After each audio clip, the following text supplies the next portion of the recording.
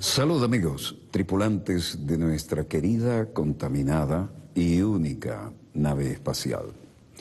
La misma que, desde la última vez que nos vimos por estos medios, ha dado otra vuelta sobre su eje imaginario y, por supuesto, sigue generando acontecimientos en pleno desarrollo. Acontecimientos que hoy, entre otros, y que tienen escala internacional y también escala en el sismógrafo, por su intensidad,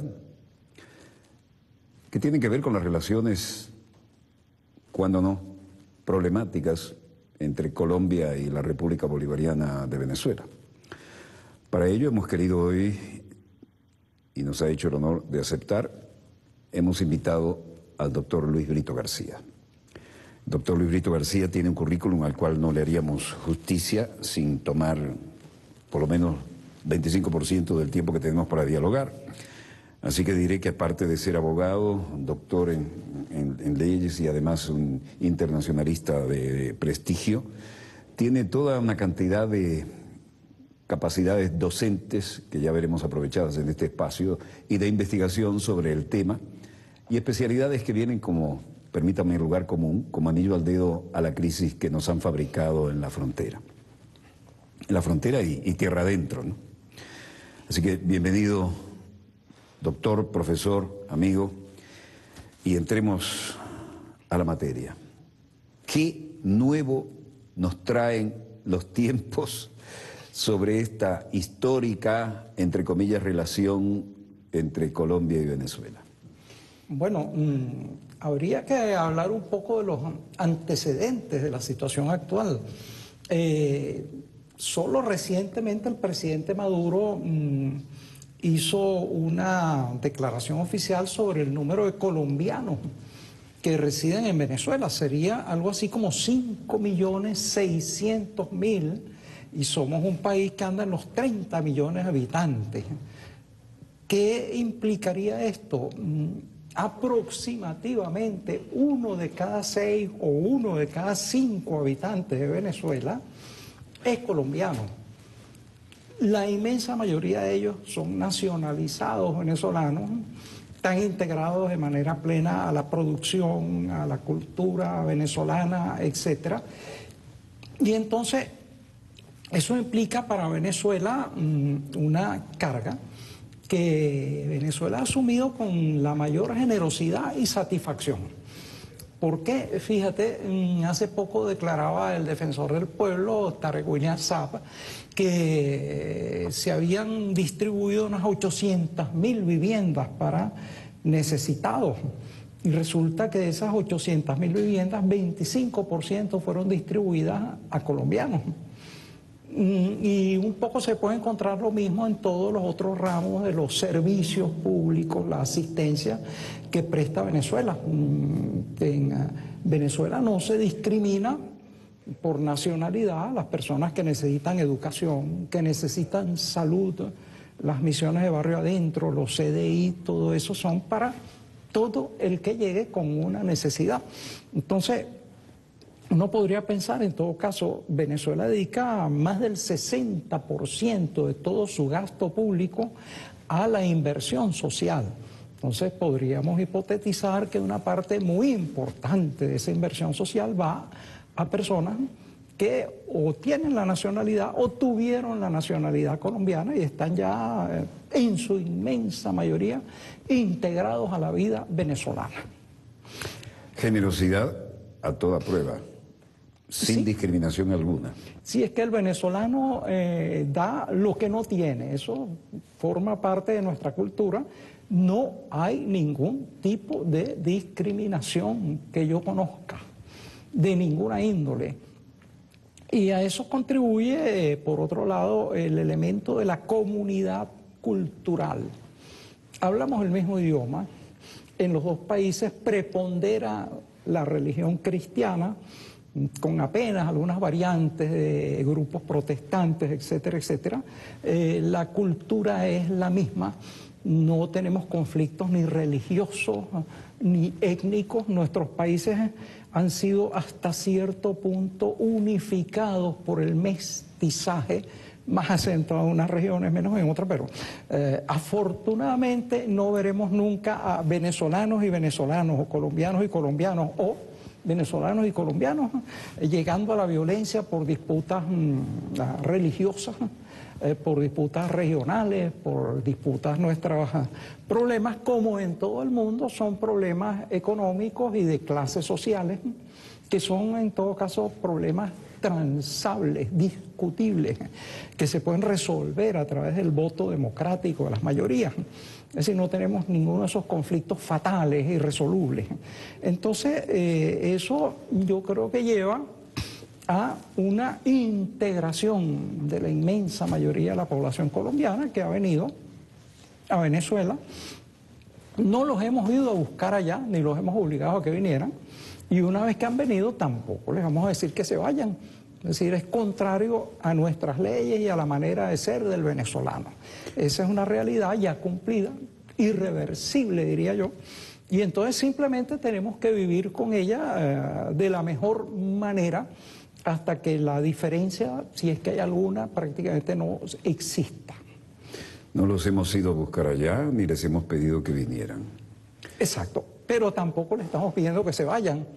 Si ustedes vinieron hasta acá, debe ser porque consideran que acá están mejor que el sitio donde... Si no se regresan es también porque consideran que aquí se está mejor.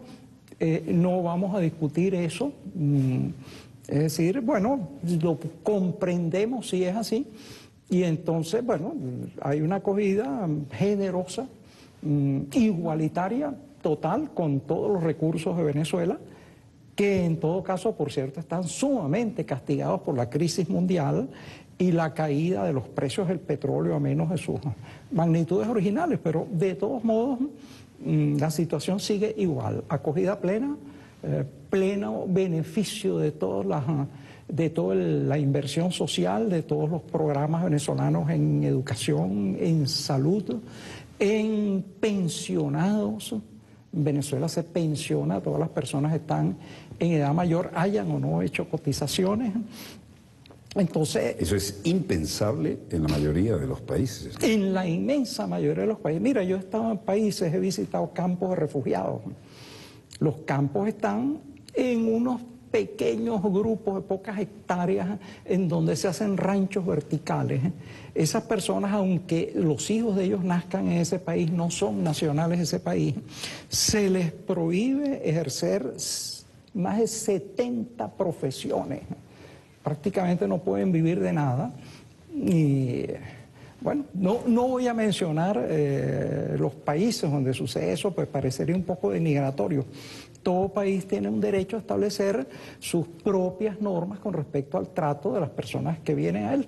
Venezuela en ese sentido yo creo que ha sido una generosidad total e indubitable. Y nunca les hemos pedido que se fueran. No, Jamás. No, en absoluto. Ni pedido, ni insinuado, ni, ni creado en condiciones indirectas. No, porque además, te repito, eso sería contrario a nuestras leyes y a nuestra idiosincrasia.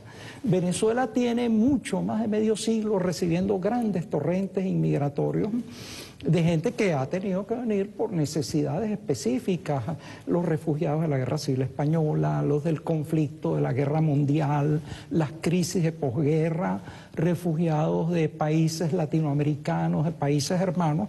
Venezuela los ha acogido a todos, la inmensa mayoría se han asimilado, desempeñan actividades productivas, llevan vidas útiles y felices, cabría decirlo. Hay que recordar que por una serie de indicadores internacionales, libro de Gaines de récord, etcétera, Venezuela es el país más feliz del mundo o está entre los cinco países más felices del mundo. Entonces, mm, bueno, eh, la felicidad no es egoísta.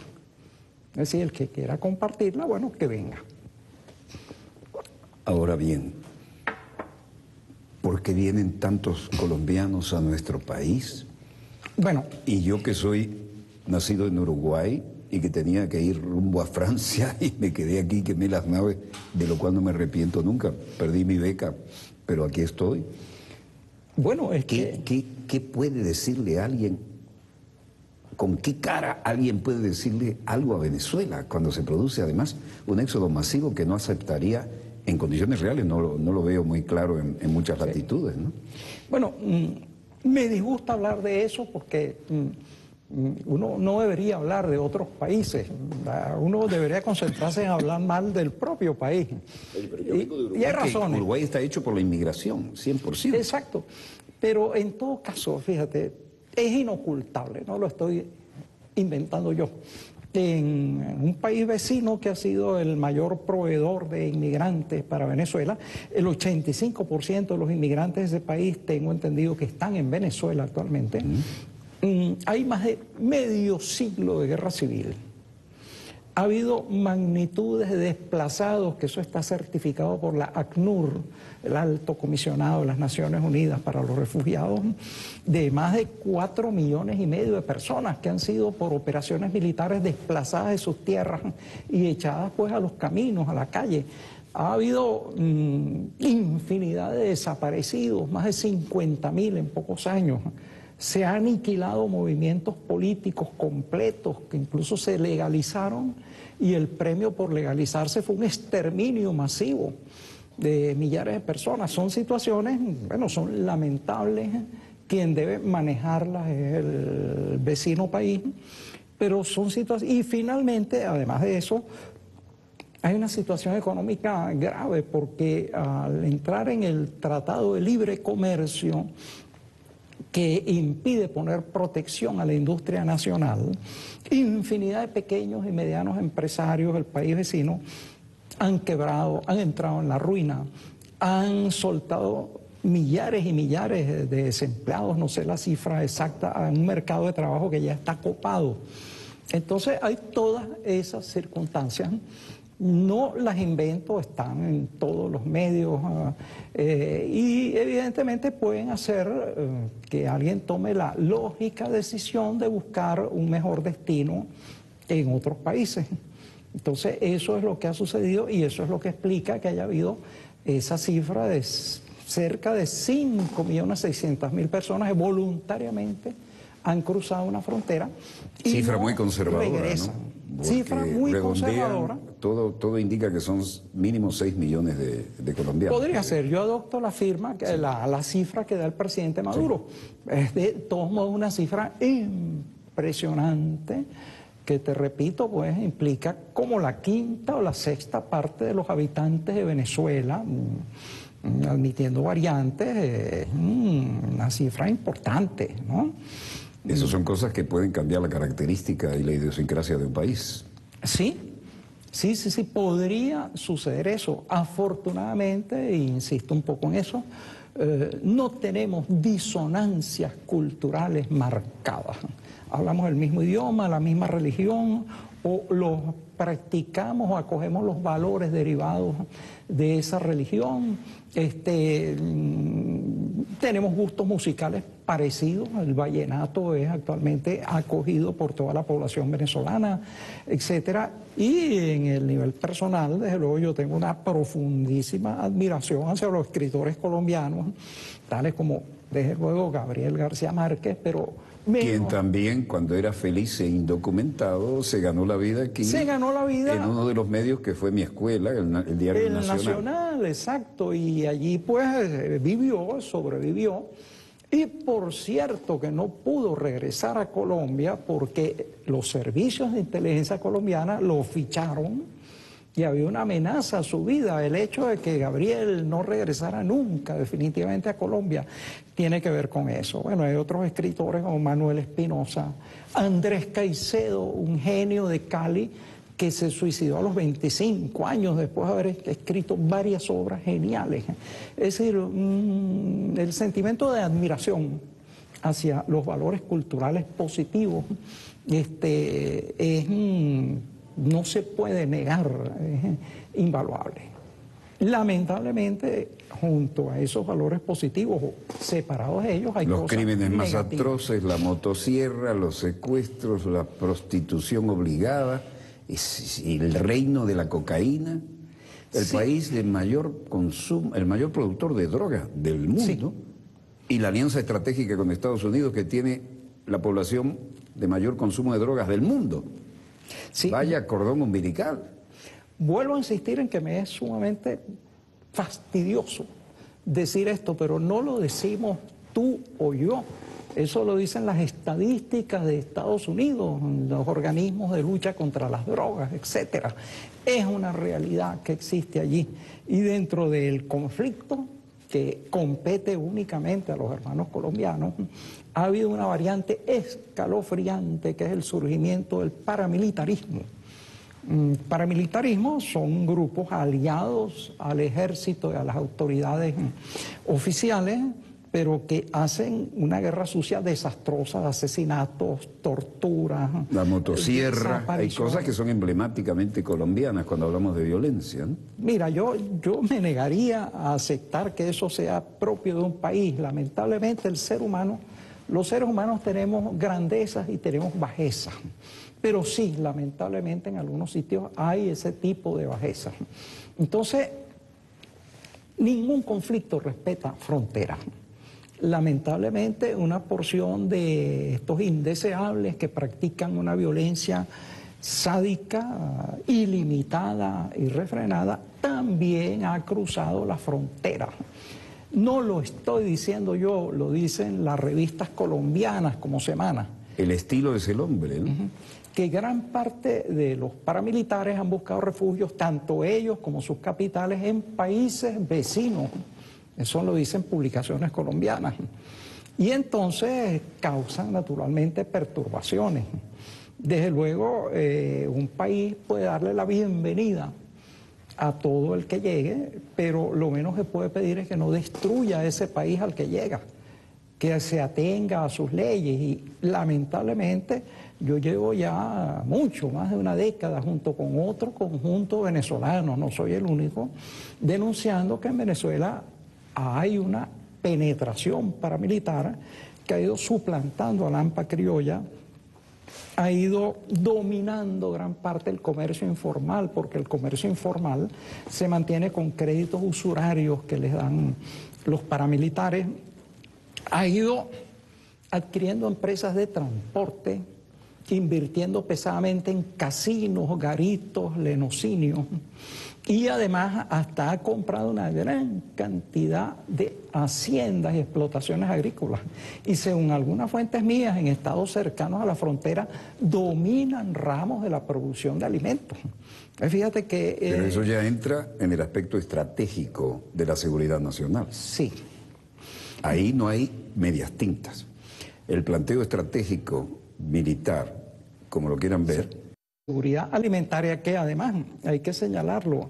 Colombia, una de sus virtudes era que era un país que producía sus alimentos. Eso ya es cosa del pasado. Colombia importa más del 50% de los alimentos que barbaridad. consume es un problema de seguridad nacional gravísimo. para Colombia también. Y resulta que ahora con el TLC, que está arruinando la agricultura y la producción agrícola, pues ese problema se ha agravado. Entonces, fíjate tú, el problema de la penetración de este tipo de personas o de grupos eh, es como el de la mafia en Estados Unidos. La mafia montó un imperio durante la prohibición del alcohol, se legalizó el alcohol y entonces se traspasó a toda otra cantidad de dominios en la vida estadounidense. Me perdonarán que diga esto. El padre John Fitzgerald Kennedy, el viejo Joe Kennedy, era un célebre mafioso dedicado al contrabando de licor. Y ese señor llegó a embajador de Estados Unidos e Inglaterra y padre del príncipe de la dinastía Kennedy. Fíjate tú, hubo un pacto entre el ejército de Estados Unidos y Lucky Luciano, el gran zar de la droga, para la invasión a Italia. Italia. Y en alguna forma, como resultado de ese pacto, después de dominar Italia, le entregaron Italia al poder por una parte de las redes mafiosas y por otra parte los socialcristianos. ¿A eso no le llamamos realpolitik? Eh, mira, esa es la política de los infiernos. Es, el descaro más sanguinario que se puede imaginar. Es una, es una política que no merece el nombre política, es una cosa infernal. Y lo inquietante de eso es que en la actualidad eh, la forma de pelear la guerra para las grandes potencias es a través de la tercerización. Temazo. exacto. Temazo. Propongo hacer un breve corte. Señor coordinador, estamos en la hora del corte, ¿no? Cuando tenemos... Ah, vamos a abrir un, un, Vamos a hacer una breboca con ese tema, porque cuando tengo un invitado así, se me van los tiempos. A ver, hablemos dos minutos de eso y después lo desarrollamos después del corte. Bueno, tú ves que las últimas guerras de los imperios no son decididas por, eh, por los soldados de esos imperios. En primer lugar, reclutan a sus marginalidades, pero esas marginalidades son manejadas por empresas privadas que alquilan los mercenarios y luego financian terroristas de la peor calaña los financian, los entrenan, los arman para que despedacen y destruyan países. Entonces los países ni siquiera son invadidos, ocupados por ejércitos regulares, sino por hordas de la peor calaña del mundo, aves de rapiña, destructores, etc.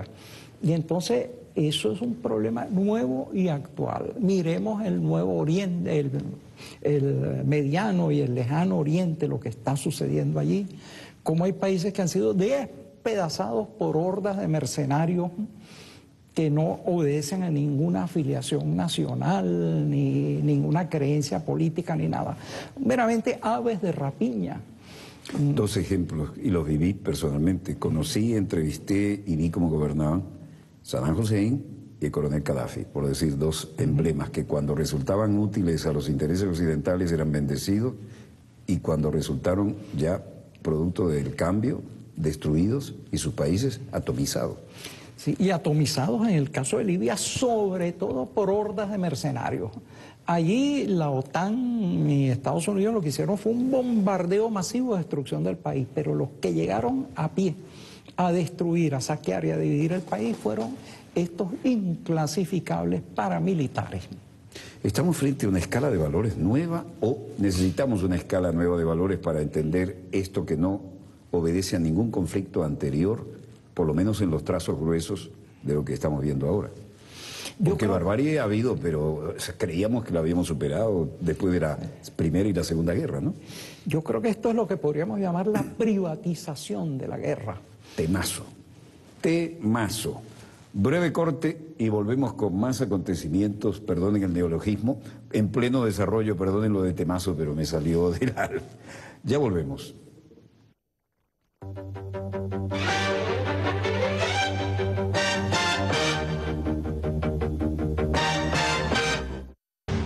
Volvemos con más acontecimientos en pleno desarrollo y los tenemos aquí en casa, en el estudio de dossier.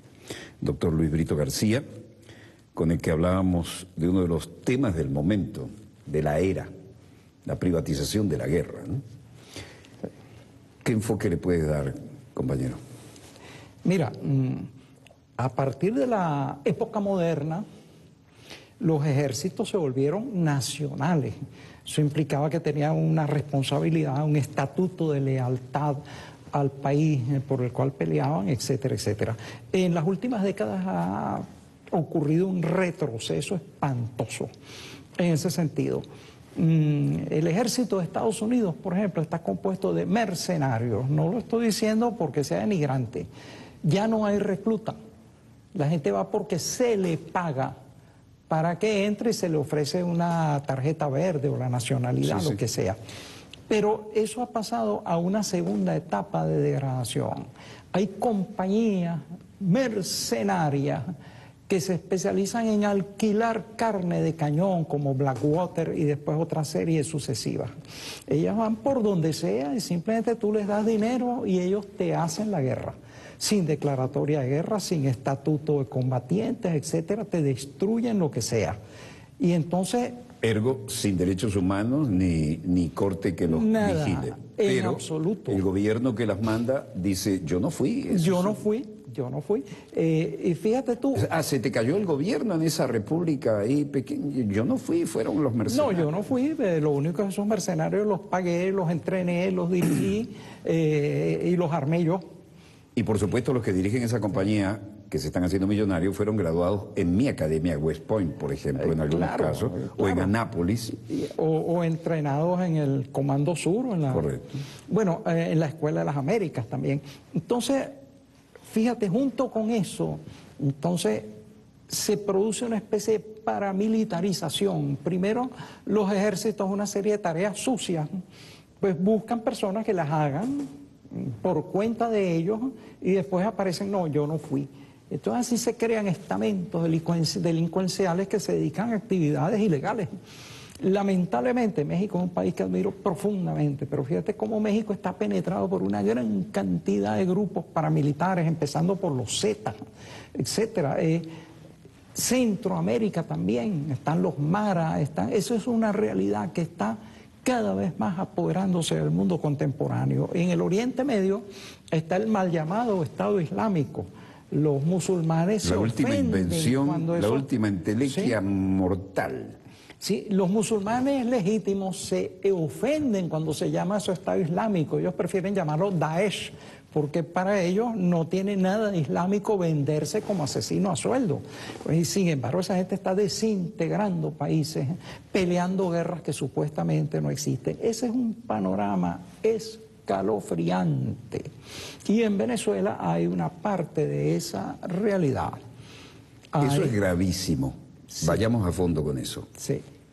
Sí, es sumamente grave. Eh, fíjate tú que entre las personas que mm, protagonizaron los actos terroristas del año pasado, en los cuales se bloqueaban las vías, se asesinaba a la gente que despejaba los obstáculos, fueron detenidos una cantidad considerable de paramilitares. ¿De qué origen? Mira, de nuevo, pero ya que tú lo preguntas, de la hermana república. Eso no implica que bueno, Caín también era un hermano, ¿no? Ah, sí. Caín era también un hermano. Hace poco hubo un crimen horrendo de la oposición y los tipos, el, el fautor y los ejecutores habían sido entrenados en ese tipo de actividades, tengo entendido que en el país vecino también.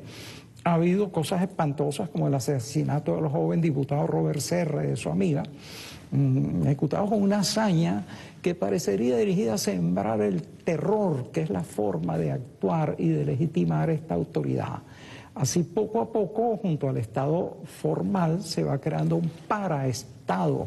Tanto Miguel Ángel Pérez Pirela como yo hemos escrito sobre eso. Un Estado que no es elegido por nadie, pero que te sentencia, te legisla, te ejecuta. Y son ejecuciones no tienen apelación y te ejecuta contra la vida de las personas. Pero aquí hay regiones en Caracas donde la gente iza la bandera colombiana, lo único que se oye es vallenato, y donde además tienen desplantes insólitos, ¿no?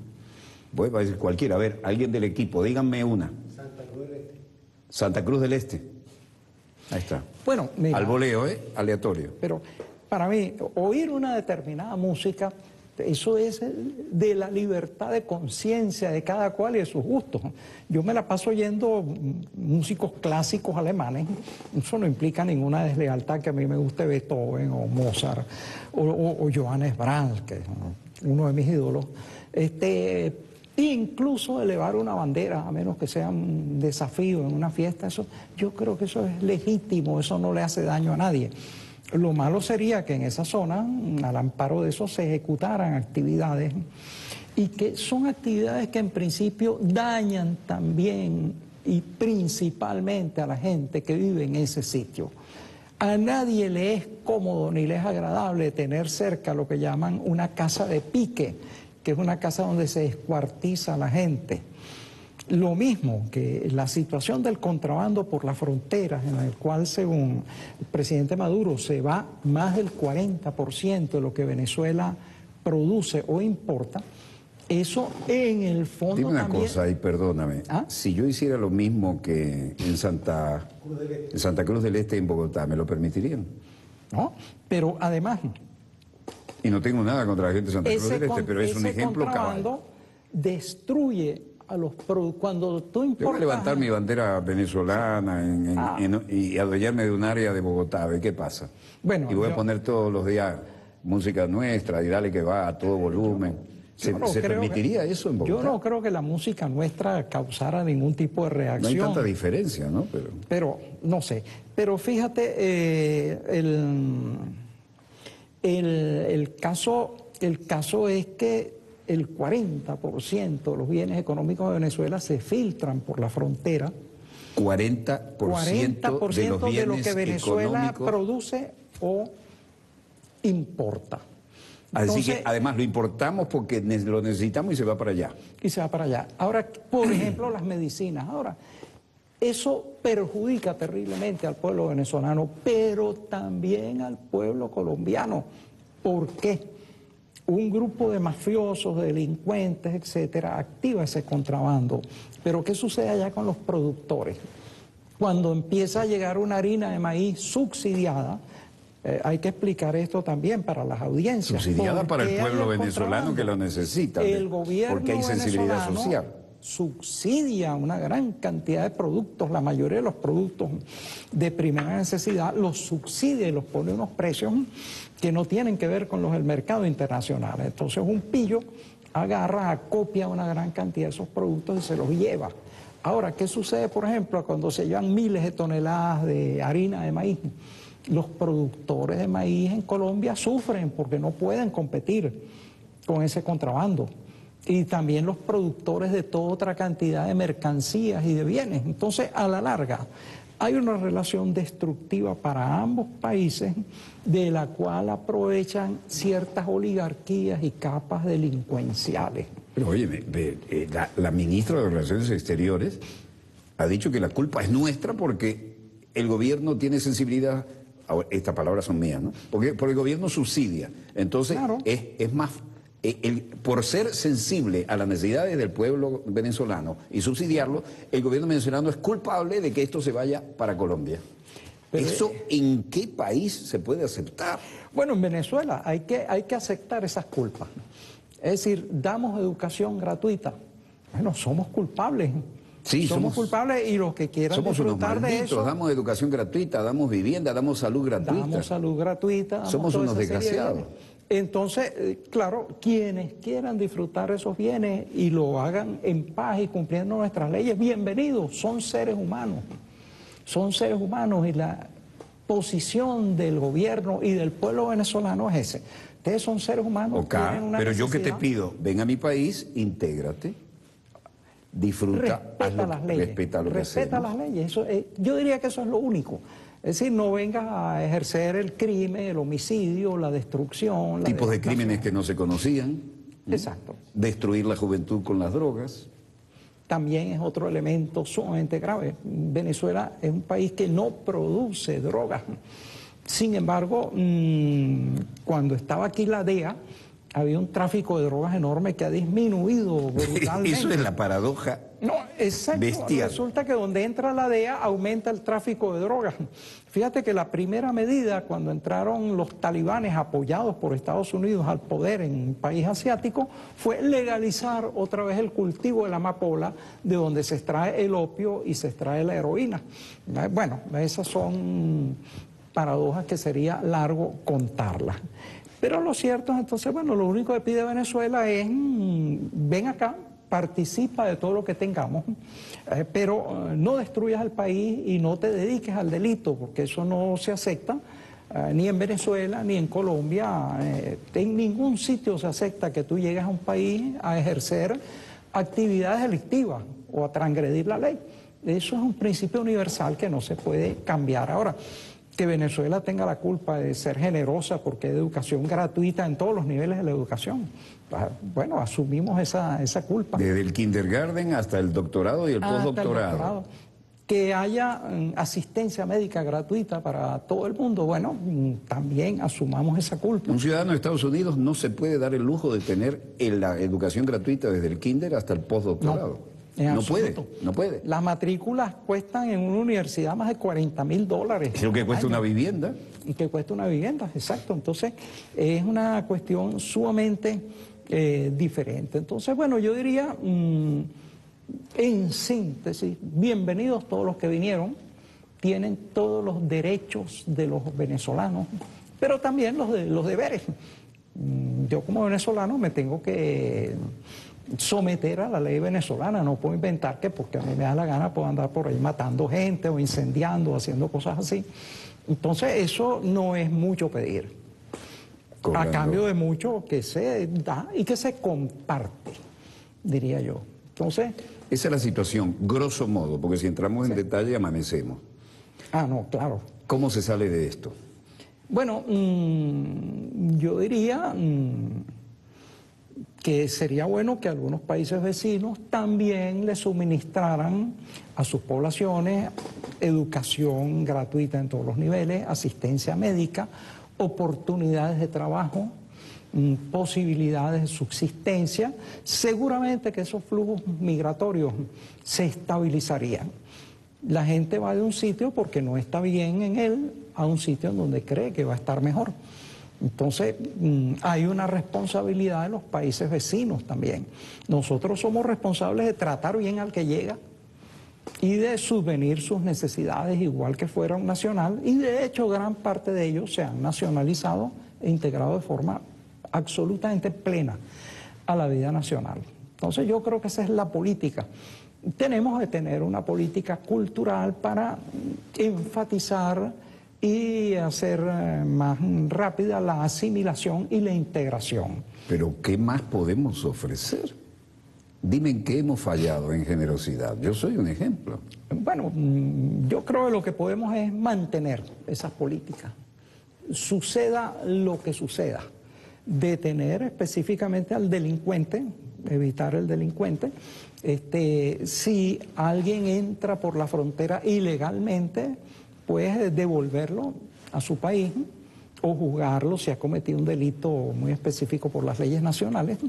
Eso no es reprobable en ningún sitio. En todos los países existen zonas de seguridad cerca de la frontera y tú no te puedes establecer en ellas ni montar campamentos, ni ciudades, ni fortalezas, etcétera. Entonces, nuestra política es esa. Y yo diría que enfatizar nuestra política de seguridad con relación a los delincuentes, no porque sean de tal o cual nacionalidad, sino porque son delincuentes. Ese es el problema problema con determinada persona no es que sea chino o lapón o australiano lo que sea, no, el problema es que te pasaste de, cuerda, mataste a varias personas y las descuartizaste, eso, eh, eso no, no, se puede tolerar en ningún país. Ese es el único diferendo que hay, diría yo.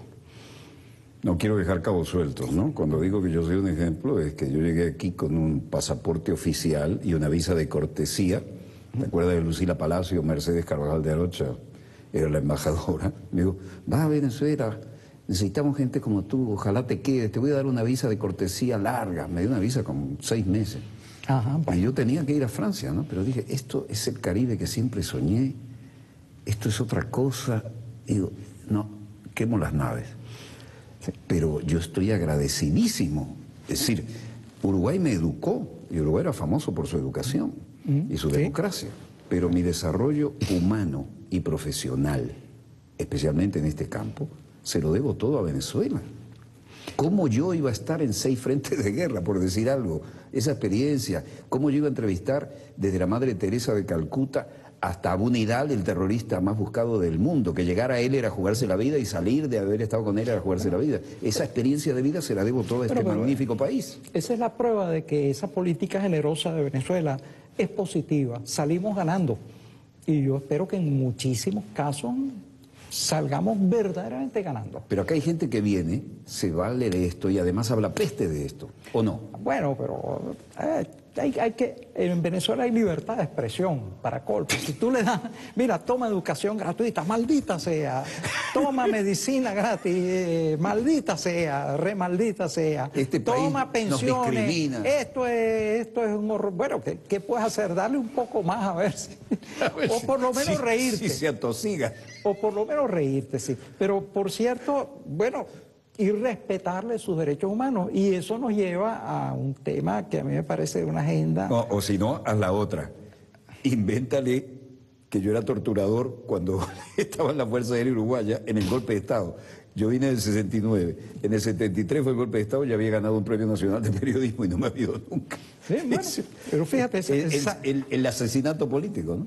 Sí, salimos ganando. Fíjate, pero bueno, hay, hay otro tema anexo a esto, pues se habla mucho de derechos humanos. Es un tema gravísimo. Hace uno o dos días se acabaron los derechos humanos. Cuéntame eso. Eso ya no existe. Hay una sentencia de la Corte Interamericana de los Derechos Humanos, un organismo que depende de la OEA, es financiado un 80% de la OEA, que ha declarado que las corporaciones económicas son seres humanos y que pueden reclamar derechos humanos. Eso es un cambio de paradigma bestial. ¿Cómo Aplícanos, aplícanos esto con tu conocimiento, que tú eres un catedrático en esto? ¿Cómo ahora una corporación tiene los mismos derechos humanos que un ser humano? Más. Eso es un aborto legal. Más porque además hay lo siguiente, tú puedes una corporación puede reclamar derechos humanos, pero tú no le puedes reclamar derechos humanos a ella. Si una corporación te envenena, eh, te destruye, etcétera. Te mata con, los elementos para la cosecha, te rompe el medio ambiente y te contamina el agua y mata a un pueblo. Bueno, la doctrina oficial de los derechos humanos es que los únicos que son atacables por violación de derechos humanos son los estados. Las corporaciones son invulnerables. Entonces, en primer lugar, son invulnerables, cometan la violación de derechos humanos. Y en segundo lugar, ahora, por obra y gracia de la Corte Interamericana de los Derechos Humanos, son considerados seres humanos. Titulares de derechos. Monstruoso, digo. Eh, monstruoso. Mira, hasta ahora, los únicos. Frankenstein se quedó pendejo. Los únicos que podían crear seres humanos a partir de la materia inanimada eran Dios y el doctor Víctor Frankenstein. Ahora resulta que la Corte Interamericana... Salvando la distancia. Salvando la distancia, creó su propio monstruo. Hay corporaciones, son seres humanos ahora. Fíjate, la Convención Interamericana de los Derechos Humanos, para evitar esa atrocidad, en su artículo 1, dice, a los efectos de esta convención, se considera persona eh, natural a los seres humanos. Eso es absolutamente claro y taxativo. Ahora, resulta que no, una corporación de televisión llamada RCTV ahora es considerada un ser humano y no solo eso, sino que le dieron la razón en un juicio. Este, eso te implica, por ejemplo, imagínate tú lo que implica considerar a una corporación, una sociedad anónima, ser humano. Por ejemplo, esa corporación podría casarse porque los derechos humanos implican que tú puedas contraer matrimonio con la persona de tu elección. Podría, podría y debería tener derecho al voto y a ser elegida. Una corporación podría lanzar su candidatura y ser elegida presidente de una república. Bueno, de hecho, ya subrepticiamente en muchos países hegemónicos las corporaciones en realidad son quienes mandan. Pero fíjate la cantidad de disparate. Fabrican, pagan y colocan los candidatos. Exactamente. ¿Y en la plana ejecutiva de esa compañía no había acaso un candidato que quería Miraflores? Exactamente. Exactamente, y que además ejerció un golpe de Estado mediático, cumpliendo la profecía de Humberto Eco, que si habría un golpe de Estado en el futuro sería un golpe mediático, pues ahora resulta que las corporaciones tienen derechos humanos, según este veredicto. Y entonces, en función de eso, le acordaron una indemnización, porque el otro elemento terrorífico es el siguiente. Según este veredicto, las concesiones que de un Estado, hay que explicar un poquito esto, mm, hay ciertos bienes del dominio público que las tienen las repúblicas, los países, los estados, y solo las pueden mm, dar en concesión, pero es una concesión que se da de manera mm, eh, enteramente voluntaria. Entonces, ¿qué pretendía esta planta televisora, RCTV? Caducó su concesión, es decir, murió. No, es que yo quiero que me la renueven porque me da la gana. Entonces la Corte ha declarado sí que hay que renovarle la concesión, aun cuando el Estado venezolano, esa es una potestad soberana, dar o negar concesiones. Imagínate tú las consecuencias. Piensa tú que todas las empresas que han tenido concesiones en América y en el mundo y que por alguna razón esas concesiones caducaron o se les revocaran, digo, no, esas concesiones son perpetuas. ¿Qué, tal, ¿qué tal la guipuzcoana? Por ejemplo, la compañía guipuzcoana puede llegar aquí, teníamos un monopolio del comercio, ¿qué es eso? Nos deben todos los beneficios que nosotros hubiéramos obtenido a lo largo de dos siglos de vida republicana. Fíjate un poco lo frenético que está un tribunal que se atreve a decir semejante cosa. En primer lugar, equiparar una corporación con un ser humano, que es una obra única de la naturaleza sin parangón. Es decir, más vale la Exxon, más vale Monsanto que un ser humano. Y en segundo lugar, decir lo que se le haya concedido a una de esas empresas por contrato no tiene fecha de caducidad, es eterno durará más que los países que lo concedieron. ¿A dónde vamos después de esto? bueno, un poco hemos privatizado los ejércitos, ahora hemos privatizado la justicia y acabamos de privatizar los derechos humanos. Los derechos humanos, según esta abominable sentencia, los derechos humanos son una de las temáticas más sagradas que existen. ¿Cómo se atreve alguien a vulnerarlos y vituperarlos en esa forma. Pues ya los derechos humanos no existen, quienes tienen derechos son las corporaciones, el billete, el capital, así como se privatiza la guerra, se privatizan los derechos humanos. Y hay una competencia de horrores. Así como las fuerzas de ocupación en una base militar son, como sucede en un vecino país, pueden violar y pueden matar porque son inmunes y son impunes a las leyes de ese país, bueno, también una corporación puede hacer lo que sea, porque no se la puede demandar por violación de los derechos humanos, pero además goza supuestamente de esos derechos humanos y puede demandar a los estados y a las repúblicas y a los pueblos, porque supuestamente le violaron sus derechos humanos.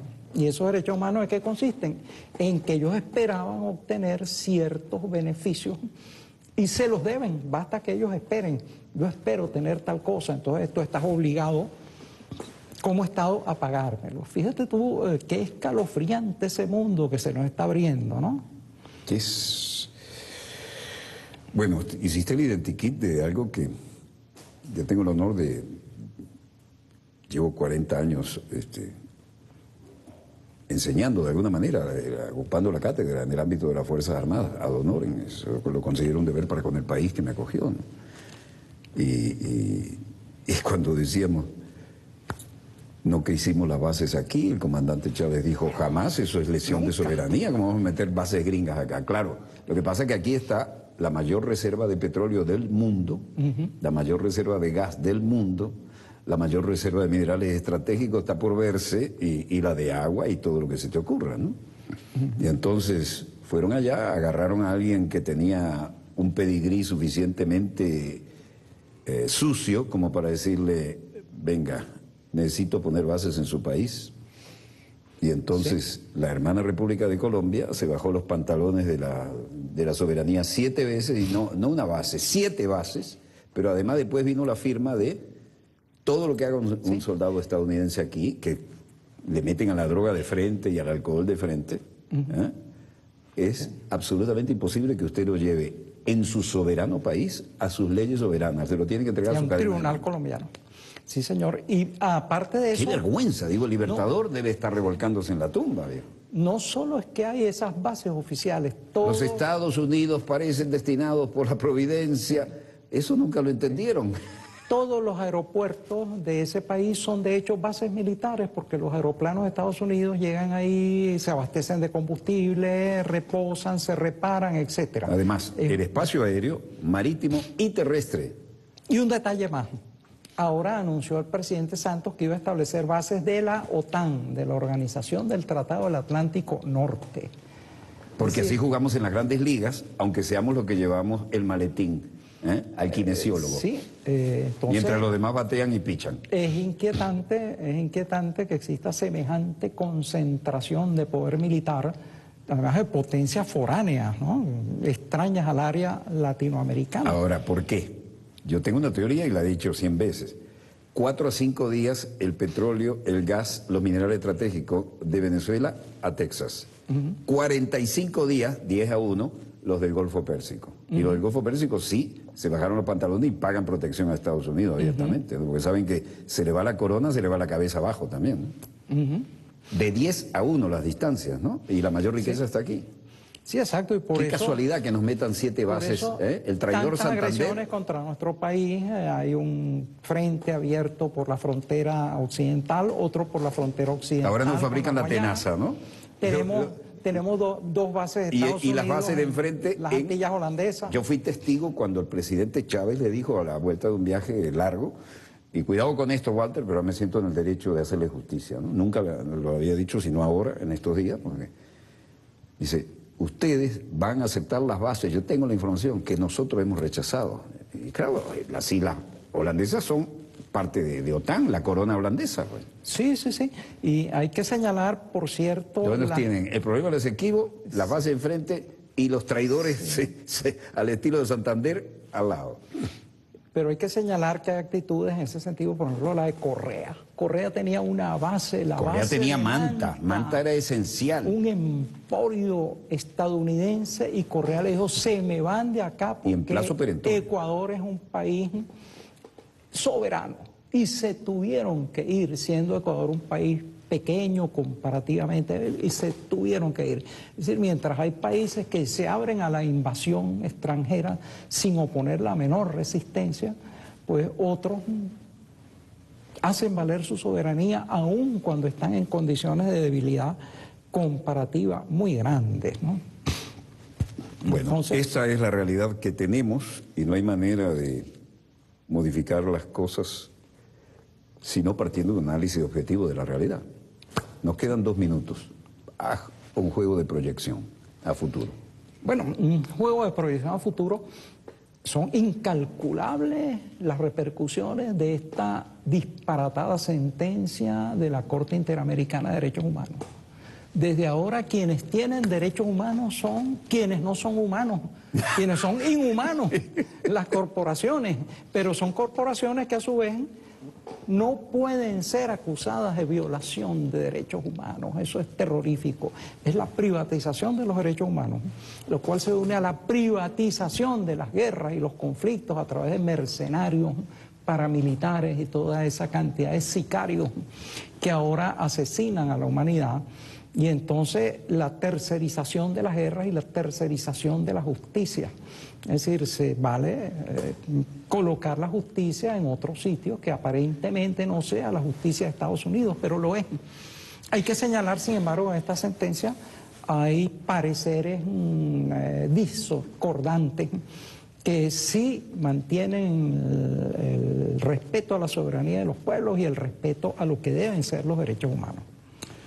Bueno, quisiera entregarte un ejemplar de mi libro 76 Domingos, que representó un esfuerzo de, de hacer un poco los acontecimientos en pleno desarrollo de una etapa de nuestra querida, contaminada y única.